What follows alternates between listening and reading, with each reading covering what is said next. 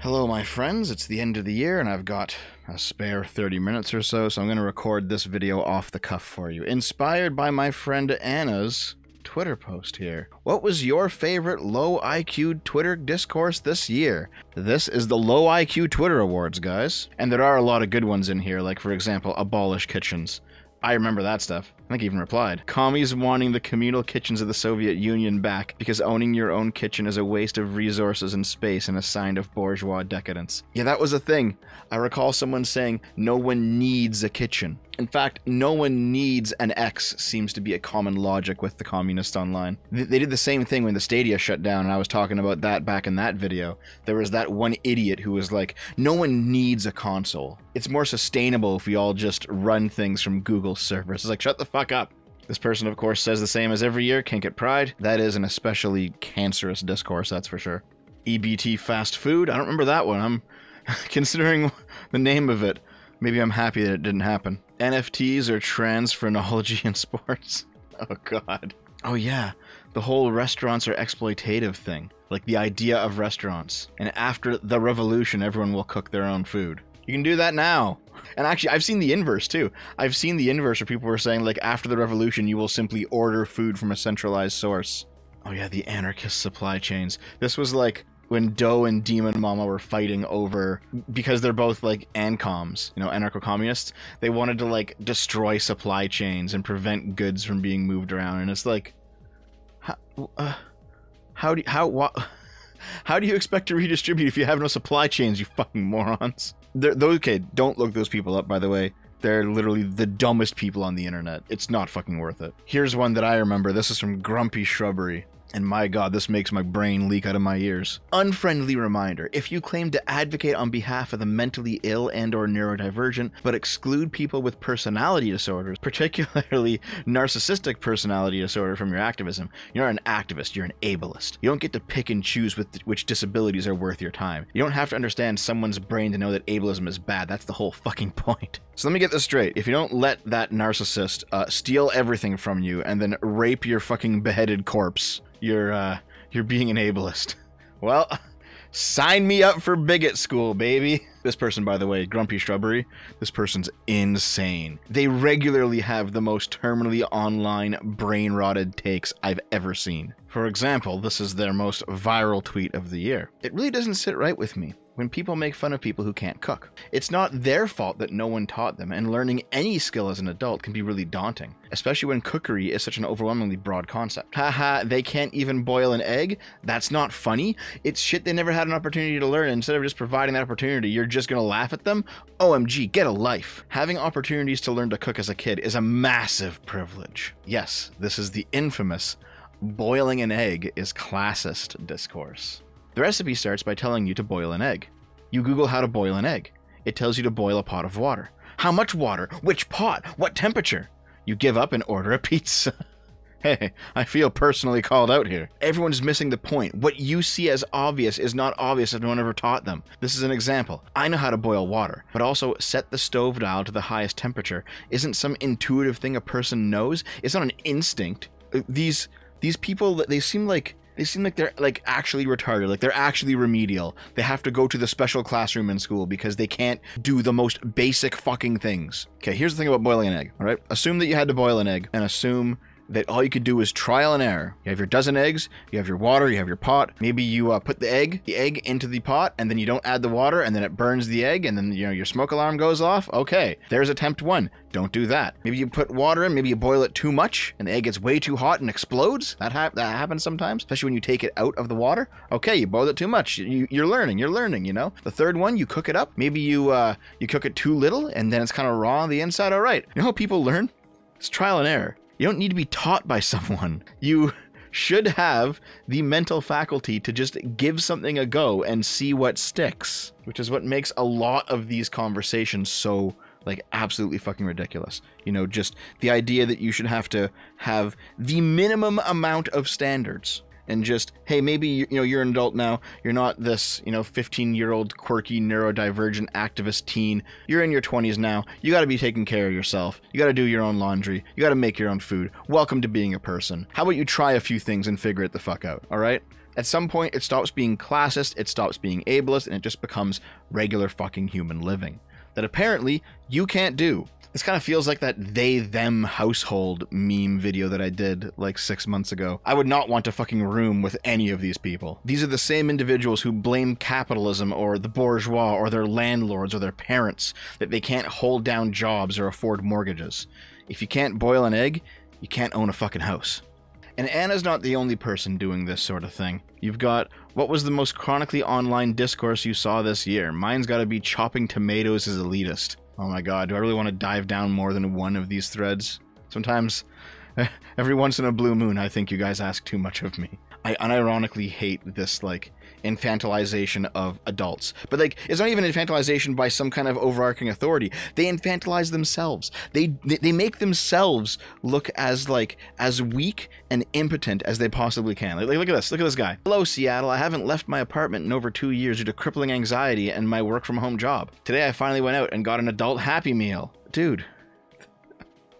God, I don't know how how mean I want to be because there's like the on the one hand, okay, crippling anxiety, good job for actually like taking a step outside and you're doing it, but how in the fuck did you let it get this bad? And the worst part is that when older people like Gen X or whatever, they notice that this is like the hip new thing with the kids, and so they purposely do the infantilizing thing as a way to relate, and it's like, oh here, watch this and cringe with me. It's Monday night, and here's what's happened. B, what are you What are you doing under my desk? Well, under the desk is kind of my thing. I mean, but here's the thing: you can stay for now, but when it comes time to voting, you're going to have to get up because you've got climate change legislation on the ballot, you've got gun safety, and if we can elect more pro-choice members of Congress, we can reinstitute Roe versus Wade as the law of the land. So you can't stay here. You're going to have to take a little bit of time to vote. Is now a bad time to say that I voted for McCain in 2008?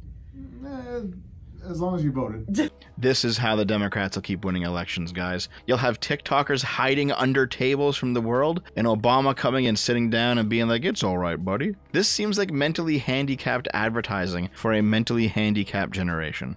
This entire infantilizing sentiment culminated with this video that went viral while I was off busy being a corpse. I'm sure you've seen literally everyone else's take on this, so I won't spend too long on it, but let's at least take a quick view people wonder why we need a union at Starbucks, and Oh my! Fu- oh my God! I have to stop right there. How many? We're five seconds into the video and I'm already stopping. Unions have their place, right? But man, every single one of my experiences with a union has been. And no, you don't need a union at a fast food place. Like this is not supposed to be a career. This is a revolving door job. You use it as, as, a stepping stone, make some quick cash, get the fuck out. If you're sitting here thinking this is where you're going to be in 10, 20 years, dude, you got to be shooting higher than this. I am literally about to quit. Like, I, I don't know if I'm going to do it, but, like, I really want to. I almost walked out today, and I'm... Do it, pussy. Do it. Crying in the back room right now, and I almost cried on the floor. It's just... I, like, I get... I'm, like, a full-time student. I get Oh my god, dude. You're you're a full-time student and you're doing this part-time job and you got to go into the break room and like cuddle up and cry, really? Scheduled for 25 hours a week and then on weekends they schedule me the entire day open to close. I'm on the schedule for eight and a half hours. Welcome to a job, dude. Like, what the... I'm scheduled part-time, 25 hours a week. Yeah, it's part-time, dude. On the weekends they got me open and opening, they got me doing an eight-hour shift. Yeah, that's in being an adult. Welcome to regular work. Regular work's 40 hours a week. 9 to 5, baby.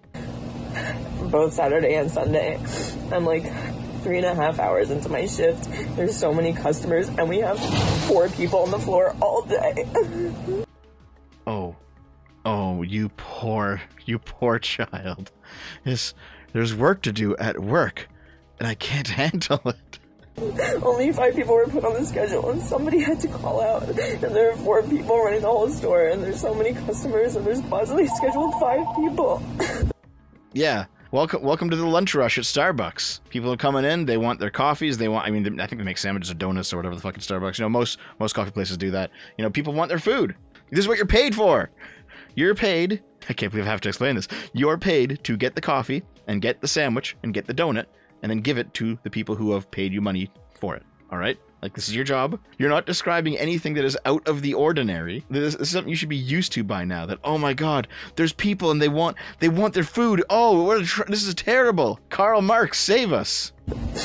We only have 13 people employed at this store, and there's so many customers. And they are good. The customers, they're coming like zombies. Bruh.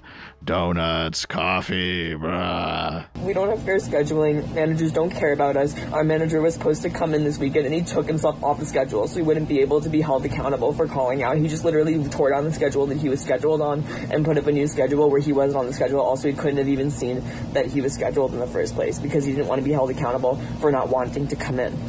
Gigachad. okay, listen, listen, all right? Here here's the deal with part-time. Your managers don't like you. You don't like your managers. You're not friends. You're not comrades in the struggle. And this whole like, oh my god, the manager, the manager didn't come in on the weekend. We had to do it. You know what? Managers, you know, sometimes you get like shit bosses, right? But a lot of the time, managers are actually doing other jobs that are just as important. You're just not seeing them. It's like, oh, my manager's sitting in the office on the computer. I can't fucking believe. You know what he's doing on that computer? He's ordering stock for the store. Okay? And so he spends a little while ordering stock so that you actually have, you know, donuts that you can bake and coffee that you can pour. A, a lot of these complaints about terrible managers, like 99% of them, are just complete and total ignorance about what other people in the workplace do. They don't want to help us. We need a union because this can't happen. This can't happen. We need fair scheduling. We What what do you what do you fucking mean fair scheduling? You're getting 25 hours a week. You're they're, they're, they they seem to be working around your classes. You know, you're saying I'm oh, I'm, a full time student. They only schedule me on weekends. Oh, when you don't have classes? Okay, you know what? I was working part time. I've worked many part time jobs. I've been like, listen, I got other shit going on. You can only schedule me on these days for these times.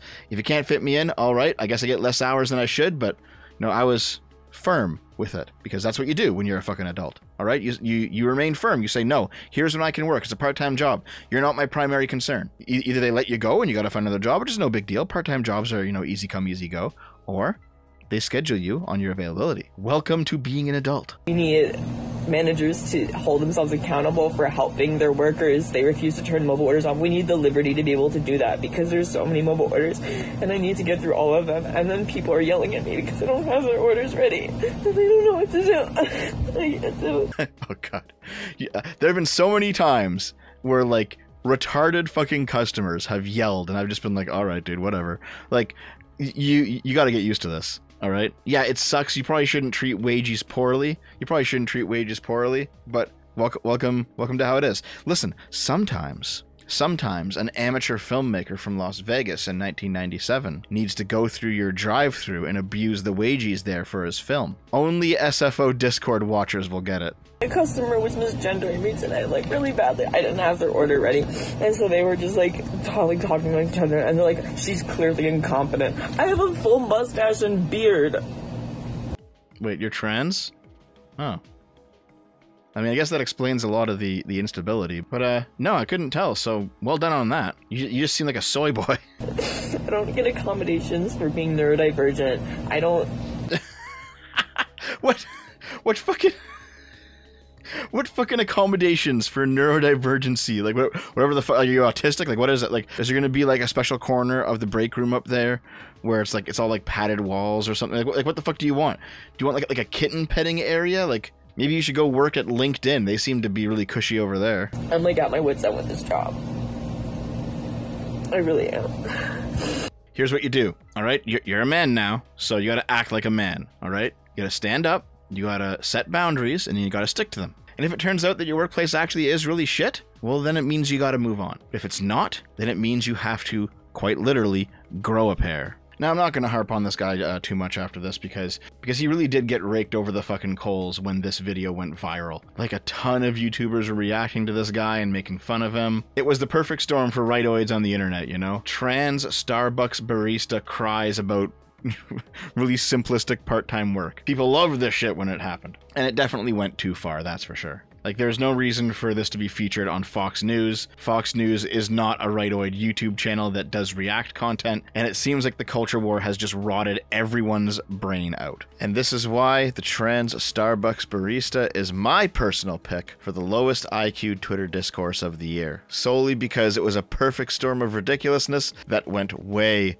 way too fucking far. You can tell a low IQ Twitter discourse specifically by noticing that if you actually analyze it for more than, you know, five seconds and with more than five brain cells, you recognize that they're all products of immense privilege, generally made by young leftist people who are probably leftists, let's be real, because they're pretty young, who haven't really experienced the world, who haven't really experienced any sort of oppression, who haven't really worked a day in their lives. And the minute that their soft bodies, soft minds, and soft lives experience even the slightest little bit of resistance to anything that they want to do, it's oppression. And so it turns into classism or ableism or whatever the fuck ism. And if they're terminally online, they make it into a low IQ Twitter discourse. It is the best part of Twitter, how stupid some of these fucking people can be. I have tried many times to quit Twitter.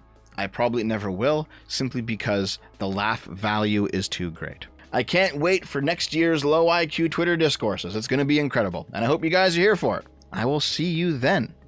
I love you.